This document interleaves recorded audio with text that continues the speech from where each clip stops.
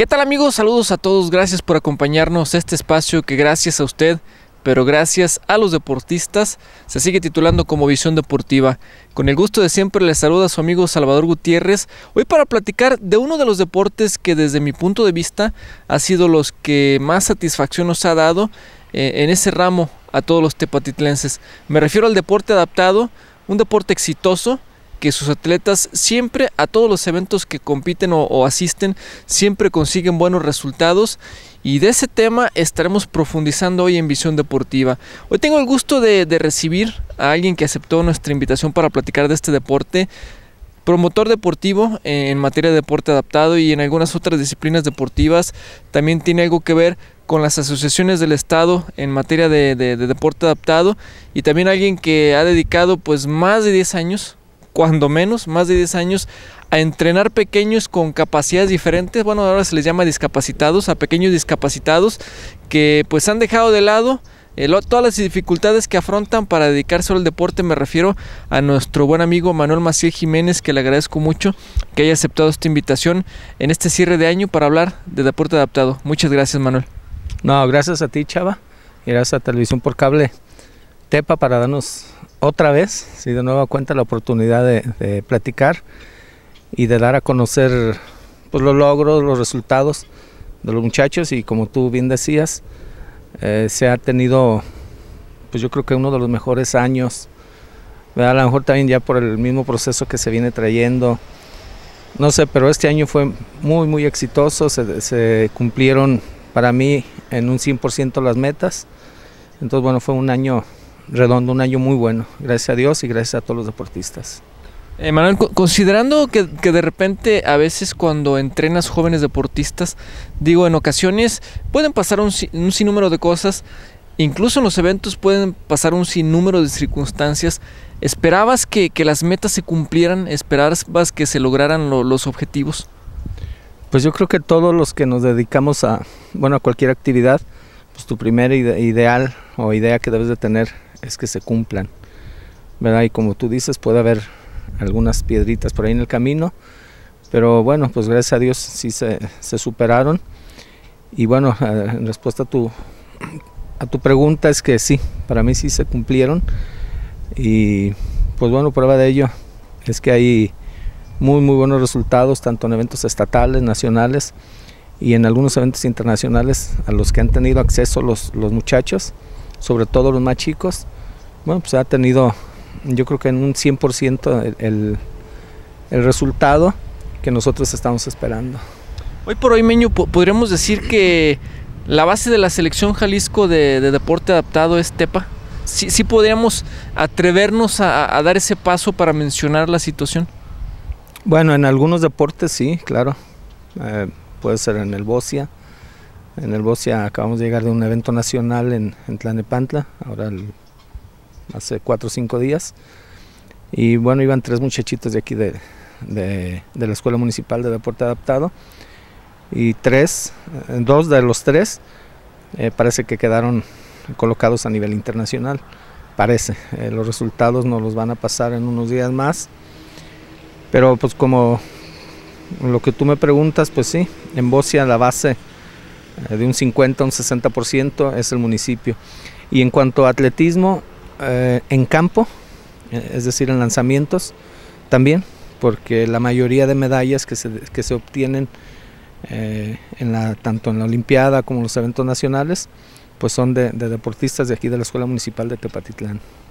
Yo recuerdo cuando hace, pues que estaremos hablando, unos 15 años, cuando, cuando empiezas con todo esto del deporte adaptado, más o menos por allá en, el 2000 aproximadamente, si no me fallan los datos.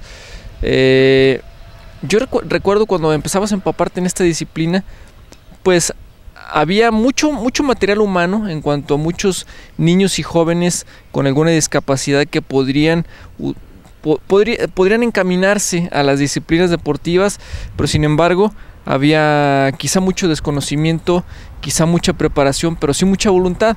Y recuerdo que comienzas a meterte, a meterte, a meterte por, ese caminito Y pues ahora estamos viendo resultados enormes, ¿no? Eh, con mucha experiencia de tu parte, con gente más preparada, eh, con mayores posibilidades de ir a eventos deportivos, con una mejor organización eh, para entrenar a los chavos. De aquel entonces, cuando se iniciaba esta, esto del deporte adaptado en Tepa, ahora, ¿qué tanto ha cambiado las circunstancias para los muchachos? No, ha cambiado muchísimo, ¿verdad? Como todo. Ya hace, pues sí, 12, 13 años que iniciamos con esto. Así como tú dices, no recuerdo bien, pero cuando menos, cuando menos son 13 años. Y bueno, cuando empezamos, pues desconocíamos completamente el área. Eh, aparte que era relativamente más fácil ganarte medallas, este, entrar en alguna competencia. ¿Por qué? Porque no había tanta preparación para los muchachos de todos los estados. ¿eh? A nivel nacional era algo más, como más sencillo. Pero bueno, conforme han, ido pasando los años, eh, todos los estados se han ido metiendo y se han ido especializando. Entonces ya ahora no, si llevas un, deportista como lo llevamos en un principio, así de que, ah, vente y vamos y competimos sin una preparación más o menos adecuada, pues no, definitivamente no, no, no va a hacer para nada. Entonces ahora tenemos que tratar de, de tener una preparación pues para poder ganar. Hay estados muy fuertes, Nuevo León, el Estado de México, el distrito, bueno, hay muchos, muchos estados que pues van con equipo completo, ¿sí? me refiero a que llevan su fisiatra, llevan su psicólogo, llevan nutriólogo, llevan un entrenador por disciplina. Entonces ya se está tomando muy, muy en serio esta área del deporte adaptado. Y bueno, eso es en beneficio de, de los deportistas y de, las mismas federaciones, porque de esa manera los muchachos ya llegan más con más preparación para los eventos internacionales.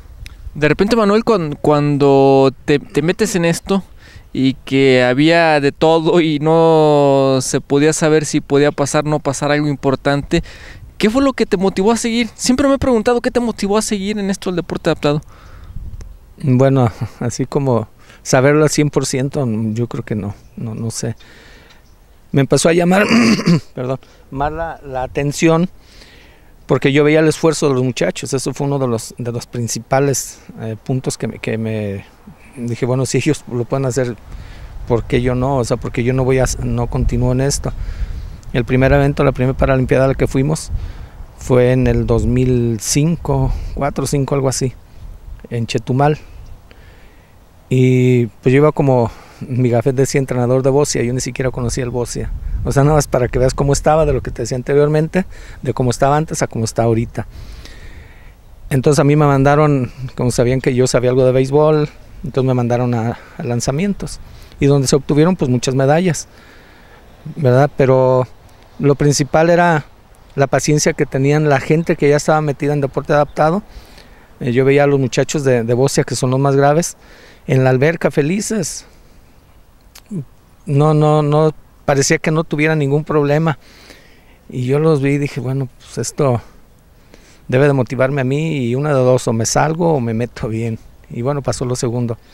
Parece que me, metí pues bien y, y, bueno, ahí estamos trabajando con los muchachos. Y, aparte de que a mí me cambió la vida, yo creo que a, a las familias de cada uno de ellos también les ha cambiado la vida esto.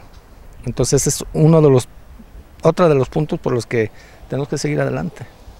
¿Te parece, Meño, si aprovechamos este momento para ir a nuestra primera pausa comercial? Hoy, aprovechando esta agradable mañana desde la Unidad Deportiva Benjamín Pérez Mendoza, donde además de jugarse el fútbol infantil, pues también los atletas eh, con discapacidad pues vienen aquí a prepararse en algunas disciplinas, incluso también los del atletismo. Vamos a la pausa, regresamos.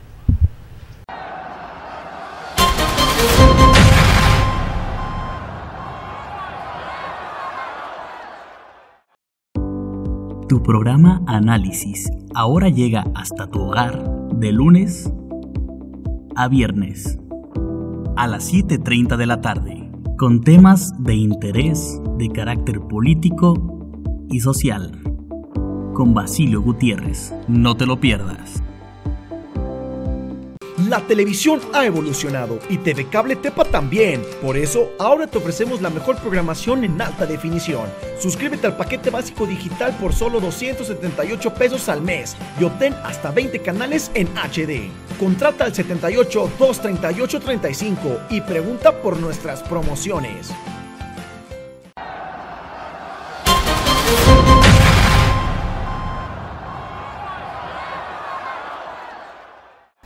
Amigos, qué bueno que continúan con nosotros. Seguimos en Visión Deportiva, como les comentaba antes de ir a la pausa comercial, desde la Unidad Deportiva Benjamín Pérez Mendoza. Esta zona es muy agradable, la verdad. Yo creo que hasta para venir a pasar un rato con la familia, eh, te traes aquí unos sandwichitos, eh, alguna bebida. Por aquí eh, debajo de los árboles puede pasarse un rato agradable. Y seguimos hablando con Manuel Macil Jiménez, quien aquí en Tepa es el que tiene la culpa de la mayoría de los resultados eh, que en deporte adaptado se han dado. Digo de la mayoría porque otros de los culpables son los deportistas. Me queda claro que ellos son los que ponen su esfuerzo allá en donde se realiza la competencia, pero yo creo que si no te hubieras metido en esto y si no estuvieras detrás de ellos, muchos de los resultados no se podrían dar.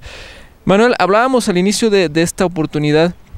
Yo para mí, insisto, yo creo que si hay un deporte que le ha dado muchas satisfacciones a Tepa, es el deporte adaptado. Y si podemos decir cuáles han sido los dos deportes más exitosos en el 2016 para nuestro municipio, pues es deporte adaptado y el atletismo convencional, porque también los chavos de atletismo creo que se han rifado en los eventos que se han plasmado. Considerando esto, ¿tú crees, Manuel, podríamos decir que, que para deporte adaptado en todas sus modalidades, porque tiene un sinnúmero de disciplinas, el 2016 podríamos decir que es el año más exitoso para ustedes, así a grosso modo. Sí, sin, sin ninguna duda, ¿verdad? Porque bueno, no, no siempre se tienen deportistas eh, paraolímpicos y bueno, en este año se logró colocar a uno que asistió a los Juegos para, Paralímpicos en, en Brasil. Eh, se ha asistido tres, cuatro eventos internacionales que aún siendo aquí en México, Sí, porque a lo mejor muchos van a preguntar a dónde fuiste. Bueno, fuimos a San Luis Potosí, fuimos a la Ciudad de México, pero que son eventos internacionales, ¿sí? donde participó Cuba, Venezuela, Costa Rica, México, por ahí vino uno que otro de Japón a, dar, a dar su marca internacional. Entonces son eventos internacionales aún estando aquí en el país. Y bueno, se asistió a San Luis Potosí, se asistió a la Ciudad de México, hace alrededor de 15 días acabamos de ir a otro otro evento clasificatorio para el Parapan Juvenil, el cual se va a llevar a cabo en Sao Paulo, Brasil. Y pues parece que parece que ya cuando menos uno de los muchachos ya está dentro de, la selección nacional. No podemos cantarlo así a los cuatro vientos de que ya está, pues hasta que las federaciones no, no lo confirmen y veamos el boleto, ¿no? Porque pueden pasar algunas cosas medias raras, pero bueno, en general mm, yo creo que sí. A nivel estatal el municipio de Tapatitlán ganó 27 medallas de oro en la, en la Paralimpiada Nacional, entonces eso te habla de, un buen resultado. De esas 27, bueno, mm, tres deportistas están en Guadalajara, ya están en el CODE, y ellos ganaron 10 medallas, pero de, todo, de cualquier manera, la escuela municipal pues ganó 17 medallas de oro. Entonces es el, el, mejor resultado que se ha tenido en todos estos años. Y aparte las clasificaciones a los eventos, acabamos de regresar también hace la semana pasada de, del Nacional Multideportivo, que también era clasificatorio para, el, para Bocia y para algunos algunas, algunas de las pruebas de, atletismo y natación. Y pues también parece que dos muchachitos, que es Juan Alberto, Juan Alberto Pérez Padilla de Bocia y Denis Padilla Martín también de Bocia, si nos respetan los acuerdos que se tuvieron en, las juntas previas y en los anexos técnicos, ellos también ya están en, la Copa América, que es un evento mayor previo a los mundiales. Es donde se gana el lugar para asistir al mundial, a las copas, a toda esa serie de cosas. Entonces, eh, Denis quedó en segundo lugar en su clasificación en BC2, eh, Juan Alberto quedó en tercero de BC3 entonces quedó que primero, segundo y tercero de cada clasificación asistiría a la Copa América. Bueno, entonces nosotros creemos que ellos también ya están en eventos internacionales. Y aparte de, perdón, de todo eso son, son muchachitos de 15, 16 años. Entonces ya enfrentarse en un evento libre, ellos, bueno, ya ahí van a agarrar todavía más experiencia, van a ver ya competidores como es Maciel Santos de Brasil, quien gana pues todo, todos los eventos a los que asiste los gana. Es un super jugador en la categoría Beso 2, que es la misma de Denise. Entonces, bueno, vamos a, a, tener la, la gran participación de estos muchachos y bueno, esperamos que también que con muy buenos resultados. Entonces, bueno, y englobando todo esto, pues el resultado para mí sí es, es magnífico. Yo recuerdo, Manuel, cuando inició este 2016 y hablábamos, porque hemos tenido la oportunidad de, estar muy en contacto para saber qué sucede, eh, no solo con tus chavos, sino con todo lo que realizas dentro de esta actividad deportiva. Y recuerdo que, primero pues se daba la, posibilidad de, ir a los clasificatorios, a lo que son los, los encuentros Jalisco que le llaman, que es donde empiezan a, seleccionar a, a, los atletas que van a representar nuestro estado. Tepa muy bien. Después viene, el, como bien comentabas, el Nacional. Tepa excelente. Yo creo que es de los, eh, si no de los, eh, si no el mejor de los mejores municipios que tiene Jalisco en cuanto a recaudación de medallas, a grosso modo. Tepa muy bien. Y luego viene algo que, nos, nos fascinó, ¿no? De, de, repente cuando nos enteramos que, Ángel Moisés Enríquez Torres, a quien le mandamos un saludo al buen Moy, pues primero iba a Qatar, a un evento internacional allá a participar en atletismo. Eh, que por cierto no nos trajo ni siquiera un llavero, pero bueno, se la valemos. Eh, regresa ya con el boleto asegurado para ir a Río de Janeiro a los Paralímpicos. Va, asiste en su primera ocasión, eh, el atleta más joven de todos los que participaron en, la oportunidad, se metió a la final. digo, para hacer su primera ocasión y contra quienes se enfrentó, yo creo que para mí un excelente resultado. Y luego vienen, como tú bien dices, ¿no? los, los eventos internacionales y cerramos con este multideportivo. Digo, de repente para ti debe ser difícil escoger un atleta favorito o escoger un evento eh, de que tú digas, híjole, fue el mejor. Pero sí debe de haber algo que, en este 2016 los, los, marcó como deporte adaptado, ¿no? Sí debe de haber algo que tú digas, esta fue la mejor participación para los atletas de aquí en cualquier evento. Sí, mm, bueno, yo, como te decía, los resultados de atletismo pues fueron muy buenos. Pero yo creo que Bocia, que es un deporte muy, muy complicado, todo mundo que lo ve, bueno, no lo entiende y inclusive dicen pues que es muy fácil el estar lanzando pelotitas eh, y el acercarlas y mm, parece fácil, pero es un deporte muy complicado, no hay no hay una metodología así escrita que te diga, ah, mira, entrena así, entrena así, o hay la opinión de, de, tal autor o de tal entrenador, no existe, o sea, cada quien entrena no a su manera, sino de acuerdo a la, discapacidad que tiene cada uno de los muchachos y contra quién va a jugar. Entonces en cada partido cambia la estrategia, cambia la, forma de, preparación de los muchachos.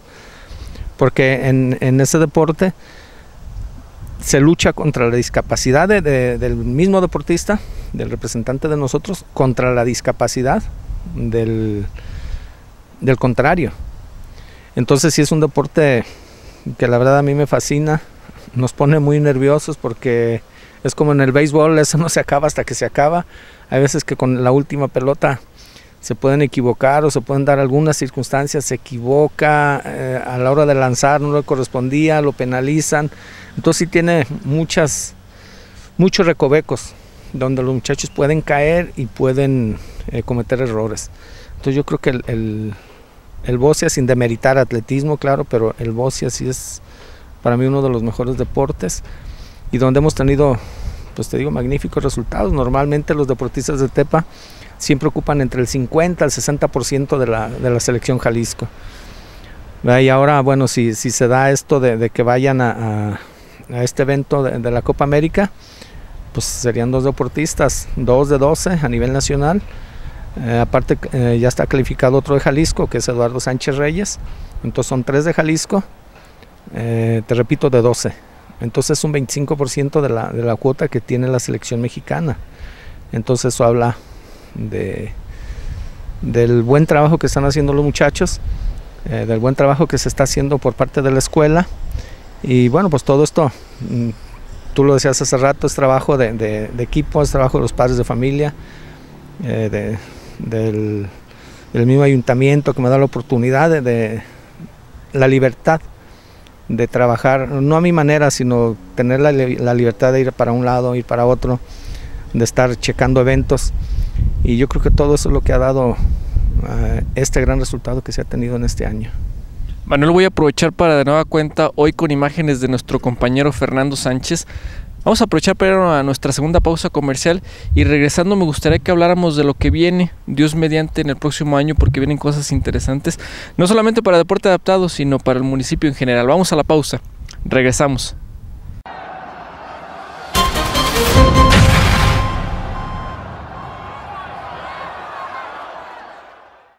Infórmate en el mejor noticiero de la región, CNT, Cable Noticias Tepa, de lunes a viernes a las 7 de la mañana, a las 3 de la tarde y a las 9 de la noche.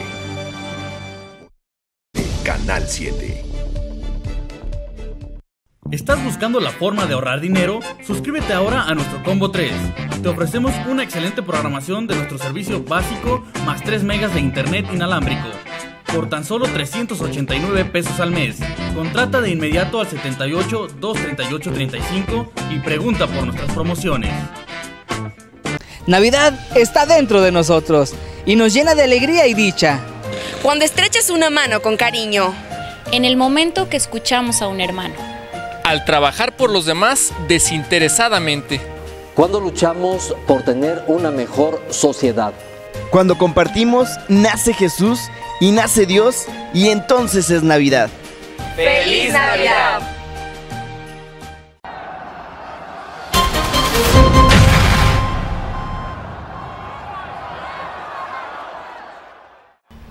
Amigos, le agradezco que continúen con nosotros, seguimos en Visión Deportiva.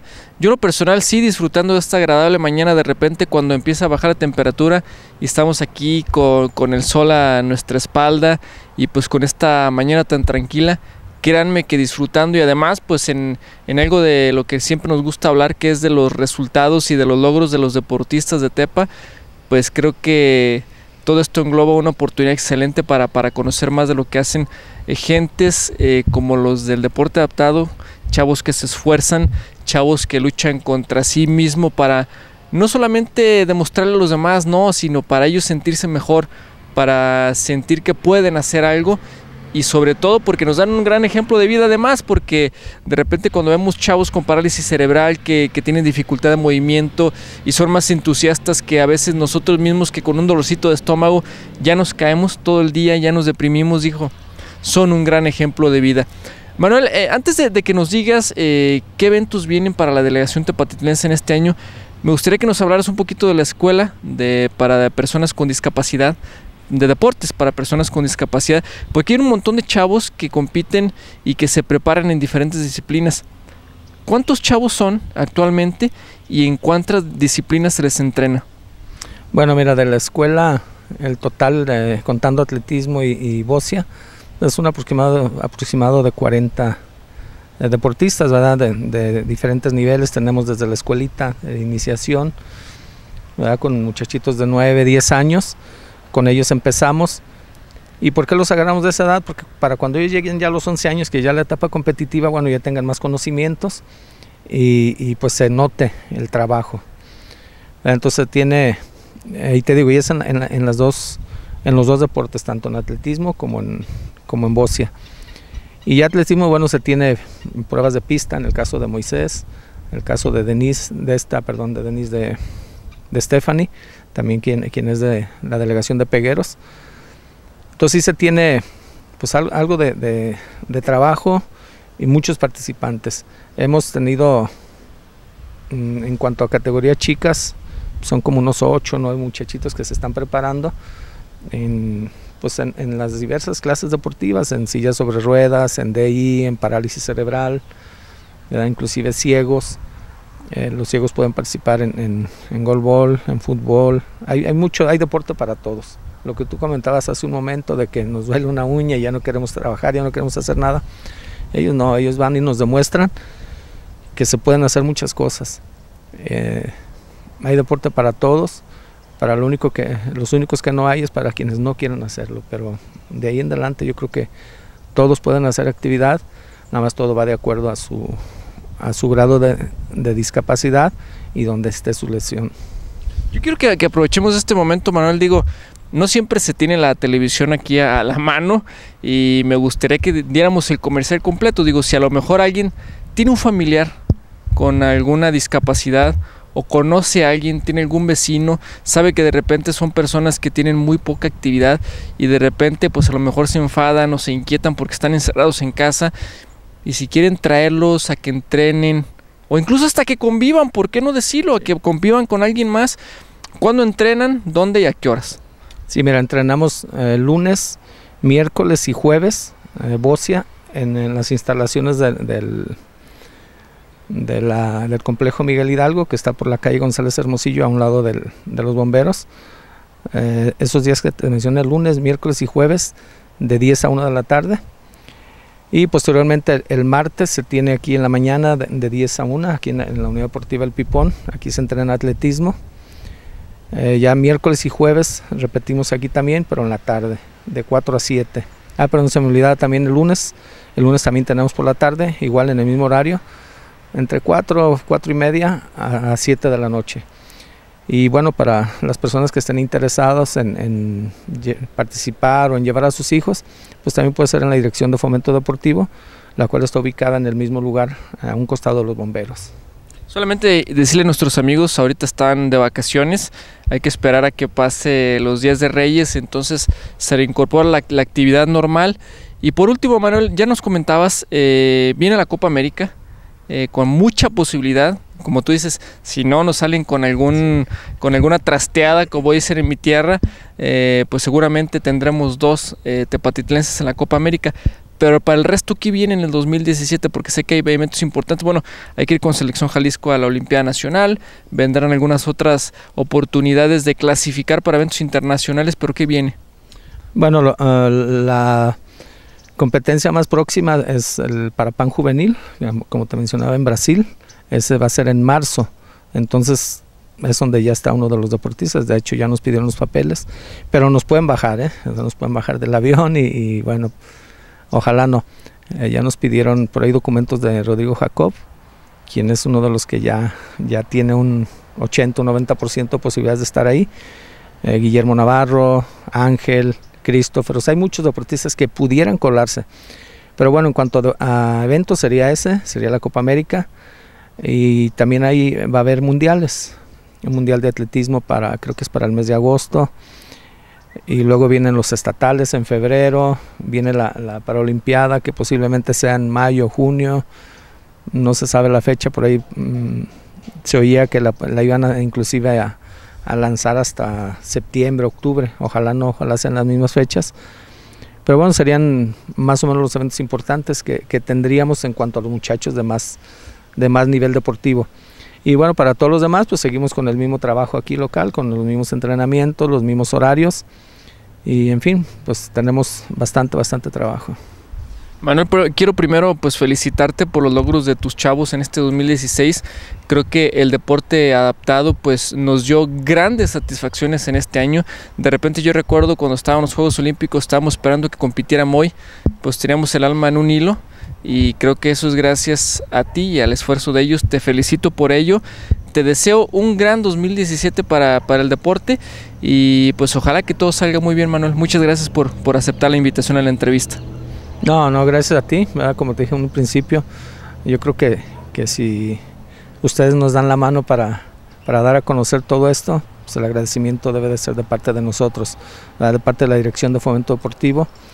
Pues estamos muy, muy contentos eh, por todo lo que, lo que nos han permitido ustedes transmitir en, su televisora. Y pues a seguirle, a seguirle dando, ¿verdad? A, a trabajar y pues no, no, no nos queda otra más que esperar resultados de estos eventos anteriores y a seguirle. Pues muchas gracias Manuel y aprovechando pues a nombre de todos mis compañeros que hacen posible no solamente Visión Deportiva, sino quienes hacen posible todos los trabajos que realizamos en el canal 7 de Televisión por Cable Tepa, quiero desearles una feliz Navidad y que pasen estas fechas acompañados de sus seres queridos, que sean fechas gratas, llenas de amor, llenas de felicidad, pero sobre todo llenas de armonía. Les agradezco mucho esta oportunidad, soy su amigo Salvador Gutiérrez y los espero la próxima semana en Visión Deportiva.